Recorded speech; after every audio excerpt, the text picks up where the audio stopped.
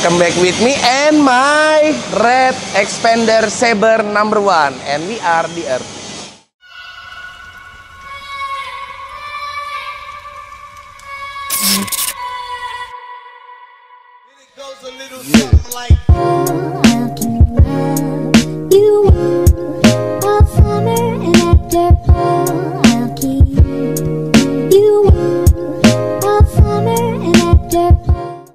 Oke guys, jadi hari ini gua interest banget nih guys. Mudah-mudahan ini adalah salah satu topik yang kalian tunggu juga guys. Kenapa gue bisa ngomong gitu? Karena proses yang lumayan memakan waktu ini, akhirnya sekarang kalian bisa melihat keseluruhan dari bentuk si merah gue ini. Jadi untuk ritualnya seperti biasa, body mau coba di fitting, gue pasti harus selalu cuci mobilnya. Agar kenapa? Satu, kebersihan adalah sebagian daripada iman. Iya iya iya. Kok kameramen jawab sih? Parah banget. Ayo eh, kita lihat langsung aja nih persiapannya gimana. Setelah kita lihat ini mobil udah kondisinya guys hancur, burak randak keluar pokoknya udah gua udah sampai ibaratkan lupa ini mobil tuh sebenarnya warna apa guys. Dia tuh warna merah atau warna coklat. Tapi berhubung ini mobil udah sedikitnya beres guys. Ini gue lagi sedikit cuci-cuci. Nih, ternyata guys, gue kasih tahu ke kalian bahwa coatingan Earth Premium ini gue bukannya speak tuh cuman untuk promo ya, tapi lebih tepatnya ini nih emang kejadian yang bener-bener terjadi gitu guys. Kenapa gue bisa ngomong gitu? Karena coatingan dari kita ini body ini kalau dipoles masih kilep, jujur aja. Kalian udah pernah lihat sendiri prosesnya apa? Kita udah pilok-pilok, kita hajar panas-panasan di jalan, kita hujan-hujanin, kita debu-debuin sampai sekarang kena fitting, kena apa segala macam debu fiber, debu cat, debu apa pun itu yang ada di keseluruhan penjuru bengkel itu pasti menempel. Dan pastinya mobil yang tidak tercoating atau enggak tidak di aplikasi seperti kita ini pasti hancur guys. Tapi berhubung ini kita bicara soal white body ya guys ya. Selain nose expander gua. Oke. Jadi gua kasih tahu kalian nih. Ini lagi udah gue persiapan. Dan gua rasa ini vlog bakal durasinya cukup panjang guys. Bisa ya mudah-mudahan tapi kalian mendengarkan kenapa bisa lama. Kenapa bisa ini mobil juga digarap cukup memakan waktu lama karena kita membuat hal seperti ini guys. Kita langsung lihat kalau di luar sana atau enggak di tempat umum body kit pada umumnya, tampilan itu yang dinomor satukan. Namun, balik lagi, seperti yang gue bilang, gue nggak akan peduli kalian yang ngomong, kok lama banget, bang lama banget, ini lama banget. Eh, nih lihat, kalian bisa langsung ibaratkan lihat sendiri, di dalam konstruksi white body yang gue ciptakan dan gue desain itu ada konstruksi lagi guys. Jadi ini benar-benar berfungsi ya. Jalur anginnya, kekuatan bodinya kita benar-benar ukur sampai akhirnya kalau kalian mau lihat ini langsung. Bro, ayo bro, bantu bro. Nih, kita lihat ya. Eh sini sini kamera sini. Nih. Ini yang gue janji-janjikan ke kalian semua soal desain aerodinamis. Kenapa gue bisa bilang begitu? Kalian bisa lihat ini di dalam white body segede ini, selebar ini, di mana ada sekitar 15 cm keluar ini mobil, kalian bisa lihat ini jalur angin masuk. Dan nggak cuman ibaratkan gue ngomong kosong doang guys, ini anak-anak bikinin jalurnya semua.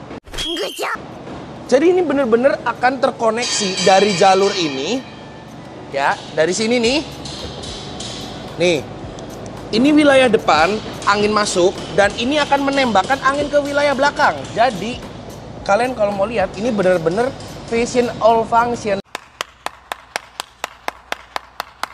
Dan gue kasih tahu kalian kenapa lama.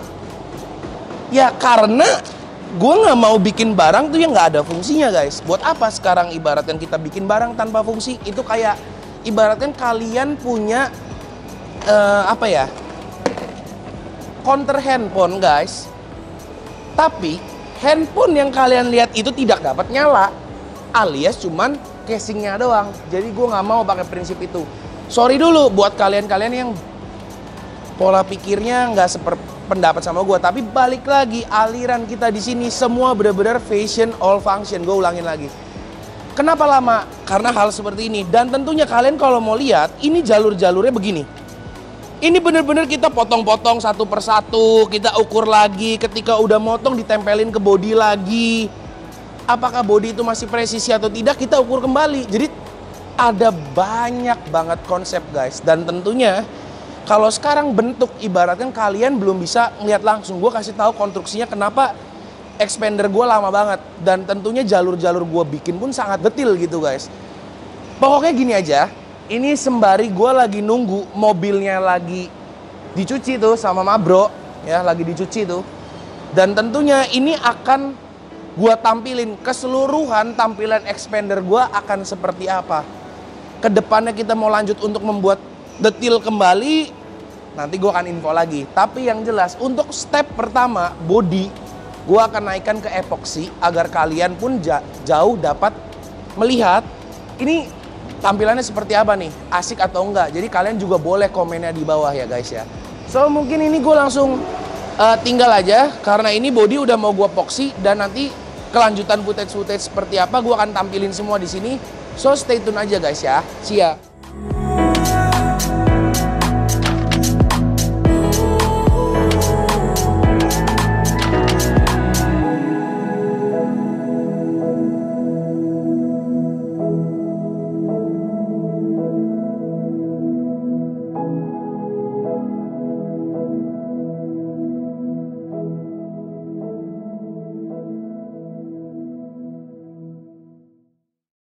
Oke okay guys, balik lagi. Ini gue dipanggil sama anak-anak produksi. Ternyata udah beres mobil ya.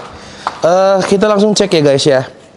Ini adalah tampilannya guys. Setelah kita poksi dan kalian langsung bisa lihat nih. Ini tampilannya seperti ini. Ini dari sudut sini kalian bisa lihat lebarnya dan bentuk bodinya yang bisa dibilang ini gede banget guys. Gue bisa langsung ngomong ini mobil terlebar salah satu yang pernah Earth tim Earth ciptakan nih guys. Jadi menurut kalian gimana dengan adanya body line dan body slant nose yang seperti ini? Menurut kalian oke okay atau enggak? Boleh dan gua sangat tunggu komen kalian di bawah.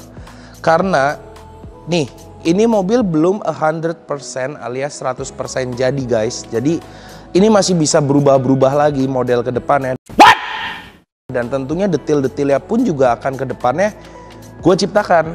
Kenapa kita e, ibaratkan satu-satu banget ngebikinnya nggak sekaligus semua gitu? Karena gue balik lagi ini adalah mobil yang benar-benar full berfungsi guys. Kita langsung lihat nih dengan adanya tadi di poxy, jadi kalian bisa tahu garis bodinya seperti apa, tarikannya seperti apa, natnya seperti apa, dan tentunya fungsinya juga kalian bisa langsung lihat detail ini angin masuk, ini terbuang lewat sini untuk menimbulkan gaya downforce yang sangat maksimal guys.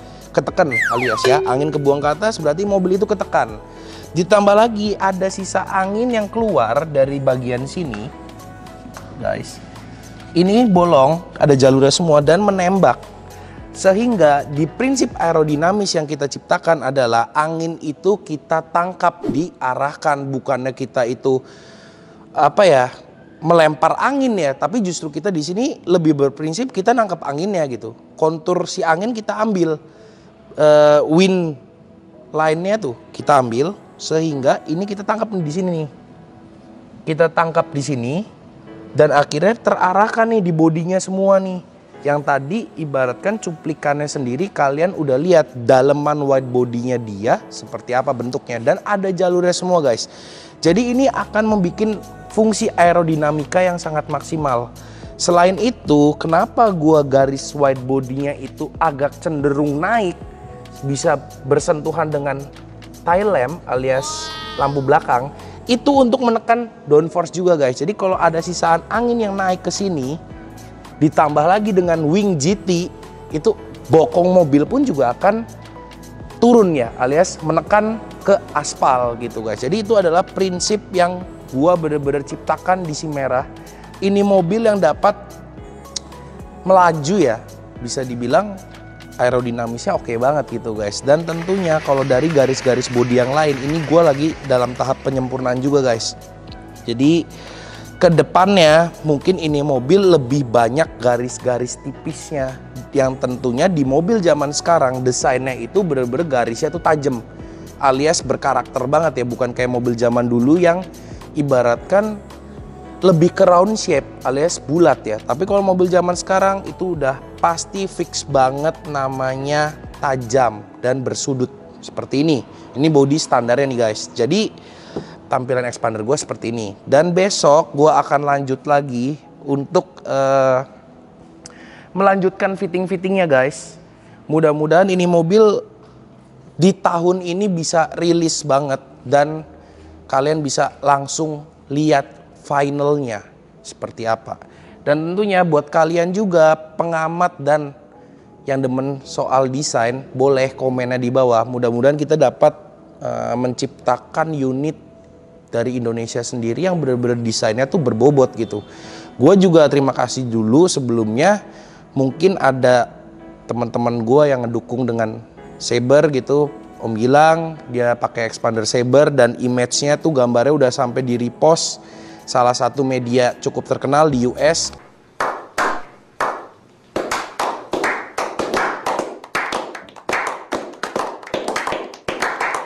Gue ucapin keren banget dan tetap semangat Om kita bareng-bareng di sini create apa nih karya yang bisa menginspirasi gitu ya guys ya. Mudah-mudahan begitu. Dan tentunya untuk pengakhiran vlog gue kasih tahu kalian bahwa kita di sini ada 7 Instagram guys, ada di sini. Dan tentunya di masing-masing Instagram kita itu ada perjurusannya. Jadi kalian yang mau suka motor kalian bisa di at earth motoclams. Kalau kalian yang mau beli baju juga kebenaran season 2 kita kabar baik akan muncul guys bulan-bulan ini. So stay tune terus. Sebelum kehabisan langsung aja follow dulu IG-nya Earth Industry dan desainnya seperti apa juga tentunya nanti kalian bakal lihat sendiri ya. So stay tune dan limited guys. Gue limited, gue selalu ingetin jangan sampai kehabisan, ketinggalan karena kita ngejaga produksi untuk tidak membuat si baju ini jadi terlalu komersil gitu ya guys ya. Jadi emang bener-bener di sini yang demen karya-karya Earth kalian bisa nikmatin juga lewat merchandise gitu guys. Pokoknya seperti itu. So mungkin topik tentang si merah ke depannya akan gue update lagi. Thank you for watching and be the best on Earth guys. See ya.